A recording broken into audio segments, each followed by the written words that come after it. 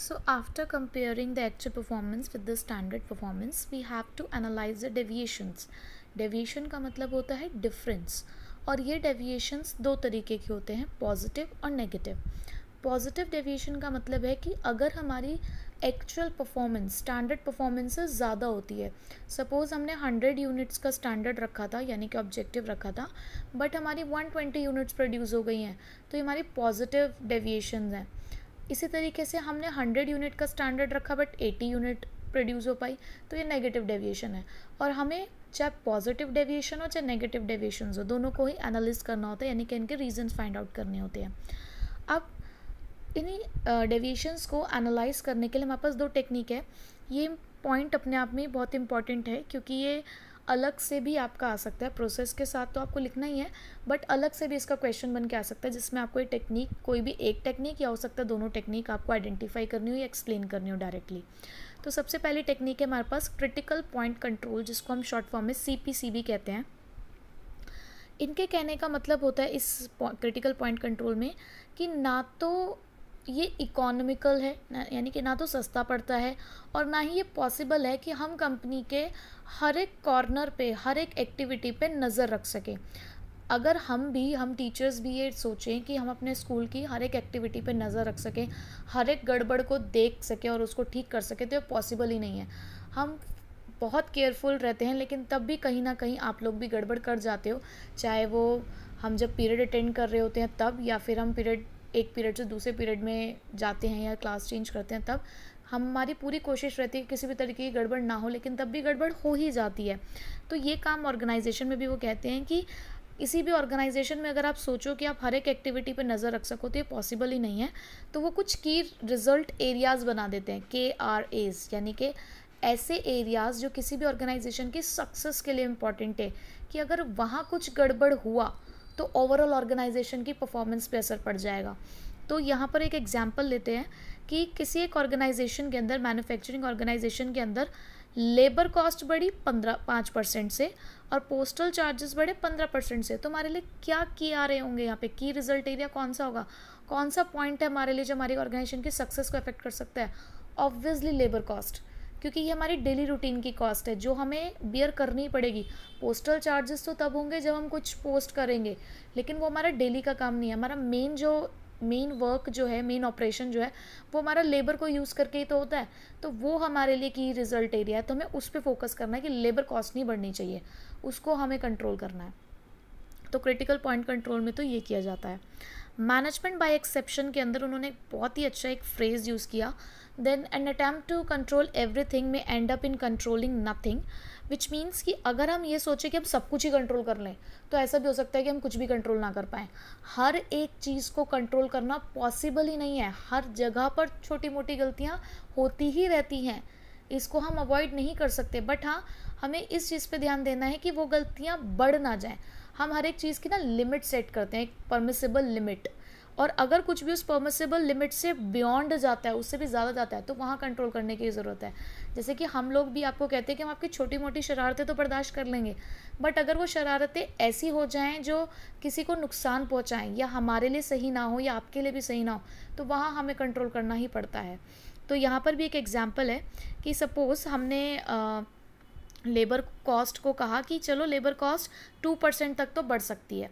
या जैसे कहीं पे हम हंड्रेड यूनिट प्रोड्यूस कर रहे हैं तो हमने कहा कि टू परसेंट तक डिफेक्टिव मटेरियल हो सकता है।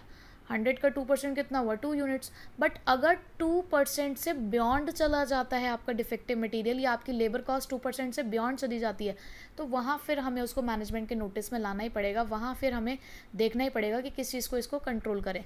जैसे कि आपकी छोटी मोटी शरारतें हम अपने एंड पे कंट्रोल कर लेते हैं, लेकिन जब आप कुछ बड़ी गलती करते हैं तो वहाँ हम कहते हैं ना कि अब आपके पेरेंट्स को कॉल किया जाएगा। तो मेन यहाँ पर भी यही हो रहा है कि हमने भी अपनी एम्प्लॉयज़ को एक परमिसेबल लिमिट दे दी है कि इतने लिमिट तक अगर कुछ होती है गड़बड़ तो कोई बात नहीं। बट अगर इस लिमिट से ऊपर कुछ चला जाएगा तो मैनेजमेंट के नोटिस में उस चीज़ को लाना पड़ेगा और ठीक करना पड़ेगा, उसके कॉजेज़ हमें फाइंड आउट करने ही पड़ेंगे। तो ये होता है एनालाइजिंग डेविएशन में। उसके बाद आता है हमारा taking the corrective action corrective action का मतलब है कि अब यहाँ पर हम जो भी कुछ हुआ है जो भी वहाँ पे डेविएशन हमने या रीज़न फाइंड आउट कर लिए, अब उसको हम करेक्ट करेंगे। जैसे सपोज़ हमारा प्रोडक्शन हमने हंड्रेड यूनिट डिसाइड किया था, लेकिन एट्टी प्रोड्यूस हुआ तो उसका रीज़न हमें ये मिला कि हमारी जो मशीन है, वो रिपेयरिंग मांग रही है कि अगर उसको हम रिपेयर कर दें फिर से तो ठीक हो जाएगा। तो हम यहाँ पर करेक्टिव एक्शन यानी कि फिफ्थ स्टेप में हम यही काम करेंगे कि जो रीज़न था उस डेविएशन का, उसको करेक्ट करने की कोशिश करेंगे। अगर डेविएशन एक्सेप्टेबल लिमिट्स में है तो हमें कोई करेक्टिव एक्शन लेने की ज़रूरत नहीं है। तो अब करेक्टिव एक्शन में हम क्या क्या कर सकते हैं? अपने एम्प्लॉय को ट्रेनिंग दे सकते हैं। अगर टारगेट्स पूरे नहीं हो रहे हैं एडिशनल वर्कर रख सकते हैं इक्विपमेंट्स ला सकते हैं नए नए परमिशन ले सकते हैं ओवर टाइम की अगर हमारा टाइम से काम पूरा नहीं हो रहा है। तो इस तरीके के हम एक्शंस लेते हैं ताकि हमारे वो डिविशंस करेक्ट हो जाएँ और नेक्स्ट परफॉर्मेंस पर उसका इफ़ेक्ट ना पड़े। तो ये हमारी प्रोसेस थी कंट्रोलिंग की, जिसमें पहले हमने परफॉर्मेंस स्टैंडर्ड सेट किए देन परफॉर्मेंस को मेजर किया फिर उसको अपने स्टैंडर्ड के साथ कंपेयर किया, फिर डेविएशन देखे डिफरेंसेस देखे कि स्टैंडर्ड तक हम पहुँचे या नहीं पहुँचे। फिर अगर कोई डिफरेंसेस आए, जिसे हमें ठीक करने की ज़रूरत थी तो उसको हमने ठीक किया। Now the last topic of this chapter is features of controlling features of controlling के अंदर first is the controlling is a goal oriented function देखो, कोई भी ऑर्गेनाइजेशन के अंदर अगर हमने प्लान किया तो हमारा गोल था, हमारा वहाँ पे गोल सेट हुआ। उसी गोल को हम कंट्रोल करेंगे। अगर कोई गोल ही नहीं होगा तो कंट्रोलिंग भी नहीं होगी। तो ऑर्गेनाइजेशन रिसोर्सेज सही से यूज़ हो रहे हैं या नहीं हो रहे हैं to achieve the predetermined goals यही चीज़ को हम कंट्रोल करने की कोशिश करते हैं। तो इसलिए हमारा गोल है तो इसीलिए ऑब्जेक्टिव्स हैं, उसको हम परफॉर्म कर रहे हैं अचीव करने की कोशिश कर रहे हैं, इसीलिए उसको कंट्रोल कर रहे हैं। परवेसिव फ़ंक्शन कंट्रोलिंग फ़ंक्शन हर लेवल पे चलता है। टॉप लेवल भी कंट्रोलिंग का फ़ंक्शन परफॉर्म करते हैं मिडल भी और लोअर लेवल भी। हर जगह पर कंट्रोलिंग फ़ंक्शन ज़रूरी है, क्योंकि हर चीज़ को हमें कंट्रोल करना ही पड़ता है। कंटिन्यूस है, जब तक आप काम कर रहे हैं, जब तक आपकी परफॉर्मेंस चल रही है, तब तक कंट्रोलिंग फ़ंक्शन भी परफॉर्म किया जा रहा है। तब तक हम ये भी देख रहे हैं कि टाइमली हम अपने ऑब्जेक्टिव्स को कंप्लीट कर रहे हैं या नहीं कर रहे हैं, कोई एक्शन लेने की ज़रूरत है करेक्टिव एक्शन तो वो भी लेंगे। कंट्रोलिंग को फॉरवर्ड और बैकवर्ड लुकिंग फ़ंक्शन दोनों कहा जाता है। कंट्रोलिंग के लिए एक फ्रेज यूज़ किया जाता है कि that it is like a postmortem of the past activities देखो, हम जब डेविएशंस निकाल रहे हैं डिफरेंसेस निकाल रहे हैं तो हम पीछे की तरफ़ देख रहे हैं ना कि अब तक हमने क्या किया? हमारी एक्चुअल परफॉर्मेंस को हमने मेजर किया, फिर उसको कंपेयर किया। तो पीछे की एक्टिविटीज़ को देखा जा रहा है, यानी कि हाँ वी आर लुकिंग बैक तो इसीलिए कंट्रोलिंग फ़ंक्शन को कहा गया कि that it is a backward looking function अब जो भी हमें कंट्रोलिंग फ़ंक्शन से डेविएशंस निकले, उसको हमने करेक्ट किया तो उस करेक्टिव एक्शन की वजह से हमारी नेक्स्ट प्लानिंग सही रहेगी। तो दैट मीन्स हम अपनी फ्यूचर परफॉर्मेंस को बेटर कर रहे हैं with the help of our controlling function so इसीलिए कहा गया that controlling is also the forward looking function कि वो आगे भी देख रहा है और पीछे भी देख रहा है।